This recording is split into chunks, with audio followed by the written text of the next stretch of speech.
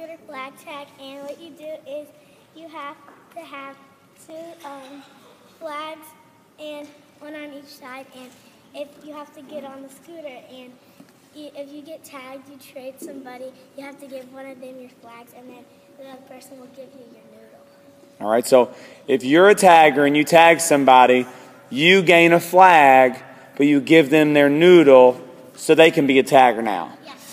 And then you're not you're trying to not be tagged, right? Yeah. All right.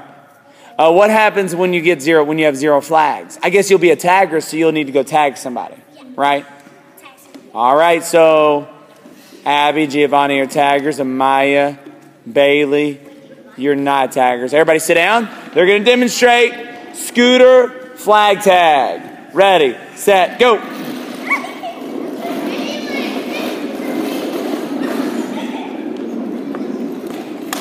Ooh, so Amaya's tag. She gets the noodle, but has to give up one of her flags. All right. Oh, Giovanni. Bailey got tagged. So Bailey gives up a new uh, a flag, but get no no tag backs. Oh gosh.